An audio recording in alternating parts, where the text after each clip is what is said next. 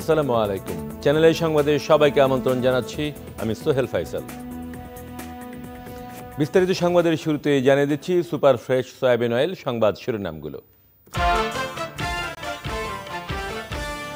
বিশ্ব আর্থিক সংকটের প্রভাব ঠেকাতে সবাইকে মিতব্যয়ী হতে প্রধানমন্ত্রীর পরামর্শ। দেশের পঁচিশ জেলায় একশো সেতু উদ্বোধন।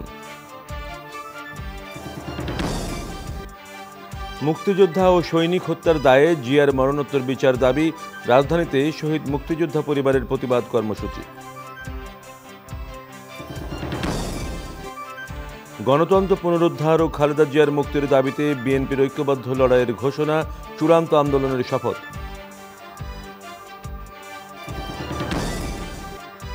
মিশরে জাতিসংঘ জলবায়ু সম্মেলনে সরকার প্রধানদের আলোচনা।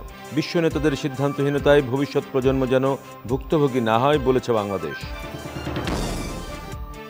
এবং টি টোয়েন্টি বিশ্বকাপে কম শক্তির দু দলের বিপক্ষে জয়ে বিসিবির লক্ষ্য পূরণের তৃপ্তি। সাফল্যের জন্য ক্রিকেটারদের আরও সময় দেওয়ার তাগিদ।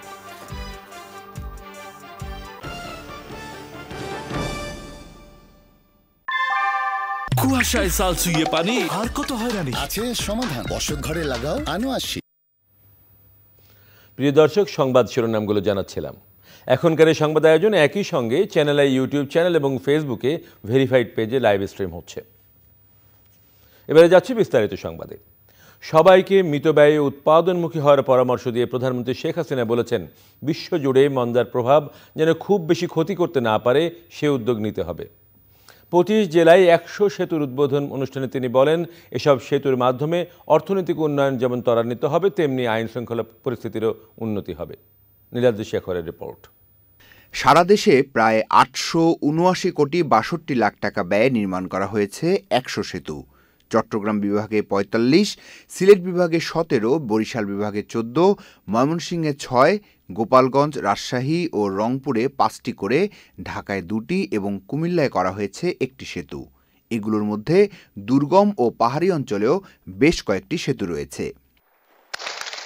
গণভবন থেকে অনলাইনে সারা দেশের একশো সেতুর নাম উল্লেখ করে তা উদ্বোধন করেন প্রধানমন্ত্রী শেখ হাসিনা। এই সেতু নির্মাণের ফলে আমাদের অর্থনৈতিক উন্নয়ন যেমন হবে, আইন শৃঙ্খলা রক্ষাকারী সংস্থা তাদের পক্ষেও খুব সহজ হবে প্রত্যেকটা এলাকায় দ্রুত যাওয়া এবং আইন শৃঙ্খলা রক্ষা করা, মানুষের নিরাপত্তা নিশ্চিত করা অথবা কোনো দুর্ঘটনা, দুর্বিপাক দেখা দিলে মানুষের সাহায্য করা।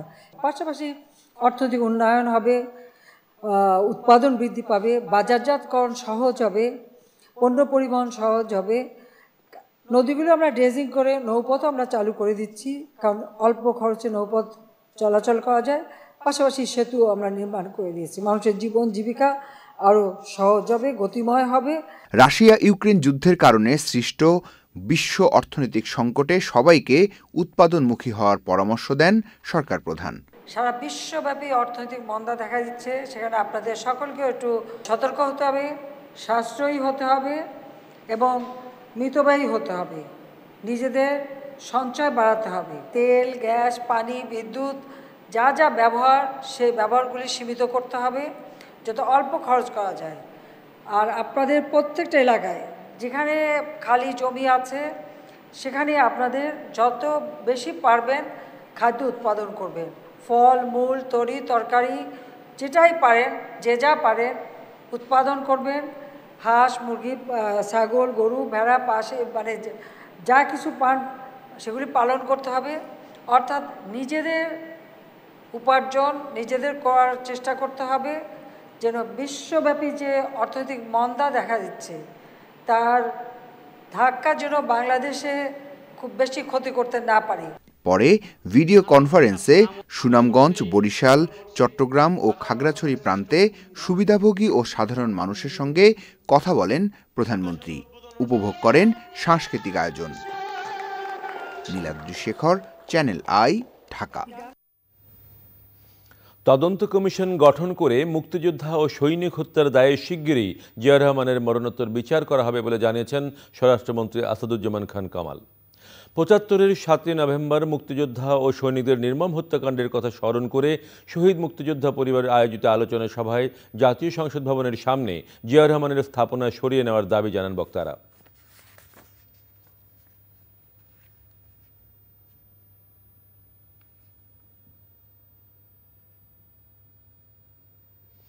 হারিয়ে যাওয়া গণতন্ত্র ফিরিয়ে আনতে ঐক্যবদ্ধ লড়াই চালিয়ে যাওয়ার কথা বলেছে বিএনপি। বিপ্লব ও সংহতি দিবসে বিএনপির প্রতিষ্ঠাতা জিয়াউর রহমানের কবর জিয়ারত করে দলের মহাসচিব মির্জা ফখরুল ইসলাম আলমগীর বলেছেন, বেগম খালেদা জিয়াকে মুক্ত করা সহ গণতন্ত্র উদ্ধারের লড়াইকে চূড়ান্ত পর্যায়ে নিয়ে যাওয়ার শপথ নিয়েছেন তারা।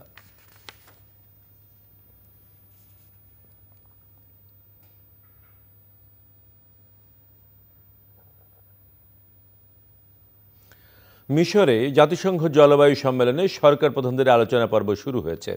বিশ্ব নেতাদের সিদ্ধান্তহীনতার কারণে যেন ভবিষ্যৎ প্রজন্ম ভুক্তভোগী না হয়, তা তুলে ধরেছে বাংলাদেশ। মিশরের শারমাল শেখ থেকে সহকর্মী এম এ হাশেমকে সঙ্গে নিয়ে আলিমান রাজির রিপোর্ট। মিশরের শারমাল শেখে জাতিসংঘের বিশ্ব জলবায়ু সম্মেলনের দ্বিতীয় দিনে জলবায়ু পরিবর্তন ঝুঁকি মোকাবেলায় করণীয় সম্পর্কে আনুষ্ঠানিক আলোচনায় বসেছেন সরকার প্রধানরা। জাতিসংঘের মহাসচিব অ্যান্টনিয়া গুতেরেস সতর্ক করে বলেছেন জলবায়ু পরিবর্তনের ঝুঁকি মোকাবেলায় মানবতাকে অবশ্যই সহযোগিতা করতে হবে। বৈশ্বিক তাপমাত্রা কমানো ক্ষতিগ্রস্ত দেশগুলোর জন্য অর্থ সহায়তা কার্বন নির্গমন সহ গ্লাসগো প্রতিশ্রুতিতে দুর্বল না হওয়ার আহ্বান জানানো হয়। ক্লাইমেট ভানারেবল ফোরামের সভাপতি হিসেবে সম্মেলনে জোরালো ভূমিকা নেওয়ার পাশাপাশি উন্নত দেশগুলোর প্রতিশ্রুতি বাস্তবায়নের দাবি জানিয়েছে বাংলাদেশ। অনেক প্রতিজ্ঞা করা হয়েছে। এখন সেগুলিকে বাস্তবায়ন করতে হবে। সো বাস্তবায়নের উপরে সবাই জোর দিচ্ছে। এবং এটা যে শুধু বাংলাদেশের একটা সমস্যা এটা না এটা এখন সারা পৃথিবীর সমস্যা। সরকার প্রধানদের আলোচনাকে সম্মেলনের গুরুত্বপূর্ণ দিক বলছে পরিবেশ নিয়ে কাজ করা সংগঠন। মূলত সরকার প্রধানরা তাদের দেশের যে সমস্যাগুলো সেগুলো তুলে ধরবেন। এবং তার উপরেই কিন্তু আলোচনাটা কন্টিনিউ করব এরপরে এবং আমাদের যেই সব সমস্যা রয়েছে অ্যাডাপ্টেশন মিটিগেশন এবং নানা যে বিষয়গুলো, সেগুলো নিয়েও কথা হবে। শারমাল সেইকে আমাদের প্রত্যাশা যে এবার হয়তো আটটু এগোবে কপের এই আলোচনা এবং সেখান থেকে আমরা হয়তো আবারও কিছু ভালো কিছু পাবো। আমাদের এই সমাধানগুলো আমাদের যে এই ধরনের প্রবলেমগুলো আমরা ফেস করছি ক্লাইমেট চেঞ্জ নিয়ে সেটা আমাদের এই ভানারেবল কান্ট্রিগুলো যত দ্রুত পাবে ততই আমাদের জন্য বাংলাদেশের জন্য ভালো হবে। জলবায়ু পরিবর্তন মোকাবেলায় জাতীয় অবদান ন্যাশনাল ডিটারমাইন্ড কন্ট্রিবিউশন বা এনডিসি তুলে ধরেছে বাংলাদেশ।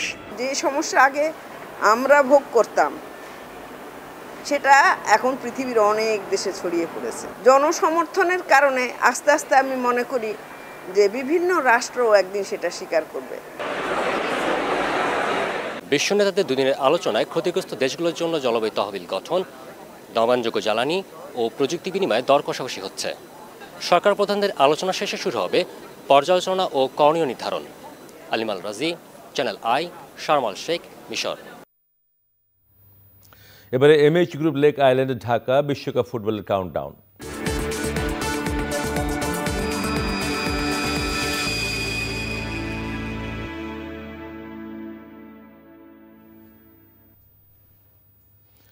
বিশে নভেম্বর শুরু হচ্ছে বিশ্বকাপ ফুটবলের বাইশতম আসর। বত্রিশ দল ও অতিথি ও পর্যটকদের বরণ করে নিতে প্রস্তুত আয়োজক কাতার। শেষ মুহূর্তের প্রস্তুতি ক্রিকেটে যতই শর্টার ভার্সন আসুক না কেন, ফুটবলের নব্বই মিনিটের উন্মাদনা এক ভিন্ন আবহ ধরে রেখেছে বিশ্বজুড়ে। চার বছর পর বিশ্ব ক্রীড়াঙ্গনে আরও একবার রং ছড়াতে আসছে football world cup twenty twenty two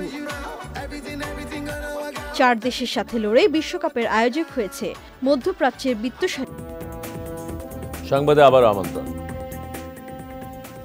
চট্টগ্রামের অক্সিজেনের ভাণ্ডার খ্যাত ঐতিহাসিক সিআরবিতে বাণিজ্যিক হাসপাতালের পরিবর্তে বঙ্গমাতা শেখ ফজিলুত্তনসা মুজিবের নামে জাতীয় উদ্যান করার দাবি জানিয়েছে চট্টগ্রাম নাগরিক সমাজ। সিআরবি রক্ষার মহাসমাবেশ থেকে নেতারা ওই দাবি জানান। চট্টগ্রাম থেকে চৌধুরী ফরিদের রিপোর্ট। চট্টগ্রামের হেরিটেজ সিআরবি রক্ষার জন্যে নাগরিক সমাজের দীর্ঘ চারশো তিরাশি দিনের আন্দোলন শেষে প্রধানমন্ত্রীর প্রতি কৃতজ্ঞতা ও বঙ্গমাতার নামে জাতীয় উদ্যান ঘোষণার লক্ষ্যে মহাসমাবেশের আয়োজন করে নাগরিক সমাজ। সবুজকে বাঁচানোর জন্য আমাদের এই অহিংস এবং একটি মানবিক দীর্ঘ সময়ের এই আন্দোলন। এই সিআরবি চত্বরকে একটি জাতীয় উদ্যান ঘোষণা করা হোক। মহাসমাবেশে বক্তারা বলেন শত প্রজাতির গাছের ঘেরে এই সিআরবিতে বাণিজ্যিক হাসপাতাল চট্টগ্রামবাসী চায় না। আমরা যখন সকল মন্ত্রী এমপি যখন একমত হয়েছি উনিও একমত হবেন। তো এখানে হাসপাতাল হবে না নুরুল ইসলাম সুজন এবং রেলমন্ত্রীও এটা আমাদের কথা দিয়েছে।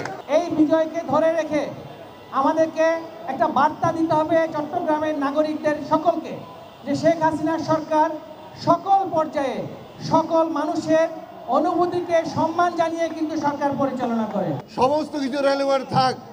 আমাদের সিটি কর্পোরেশনকে যদি দায়িত্ব দেওয়া হয় আমি এলাকাকে নান্দনিক একটা এলাকা হিসাবে পরিগণিত করব। এখানে পর্যটকদের আকৃষ্ট করার জন্য বিভিন্ন উপকরণ সৃষ্টি করতে হবে। এগুলির মধ্য দিয়ে এটাকে বঙ্গমাতা বেগম ফজলুতার নেসার নামে জাতীয় উদ্যান করা হোক। হাসপাতাল কোনো অবস্থাতে চট্টগ্রামবাসী এইখানে স্থাপিত হোক সহ্য করছে না সহ্য করবে না। সিআরবি উন্মুক্ত আছে উন্মুক্ত থাকবে। যিনি বিশ্বজুড়ে পরিবেশের জন্য আন্দোলন করছেন তিনি কখনোই আমাদের এখানকার এই অসীম সুন্দর পরিবেশটিকে নষ্ট হতে দেবেন না। সিআরবি রক্ষায় দীর্ঘ আন্দোলন এবং এত বড় নাগরিক সমাবেশ দেশে আর কোথাও হয়নি বলে জানান আয়োজকরা। Chowdhury Farid channel I Chattogram. এবারে কৃষি সংবাদ।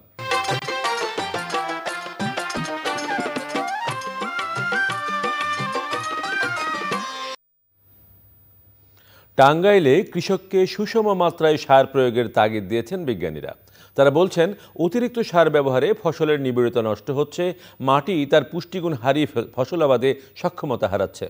টাঙ্গাইলে আবাদি জমির মাটি পরীক্ষা করে এমনই ফল পেয়েছে মৃত্তিকা গবেষণা ইনস্টিটিউট। এখন দেখবেন প্রকৃতি সংবাদ।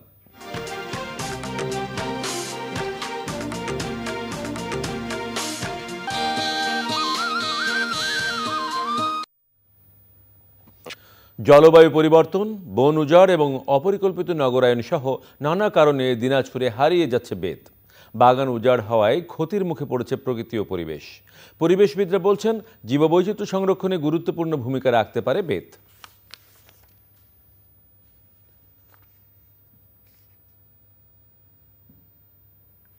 এবারে পপুলার লাইফ ইন্স্যুরেন্স বাণিজ্য সংবাদ।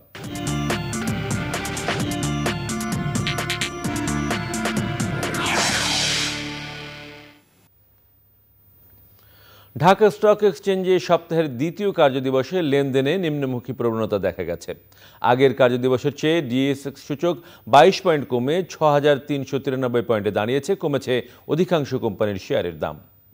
হাতবদল হয়েছে তিনশো চুয়ান্নটি কোম্পানির এক হাজার দুশো পঁয়ত্রিশ কোটি পঁয়ষট্টি লাখ টাকার শেয়ার ও মিউচুয়াল ফান্ড, যা আগের কার্যদিবসের চেয়ে উনচল্লিশ কোটি ছেষট্টি লাখ টাকা কম। এর মধ্যে দাম বেড়েছে আটচল্লিশটির, কমেছে আটানব্বইটির এবং অপরিবর্তিত রয়েছে দুশো আটটি কোম্পানির শেয়ারের দাম।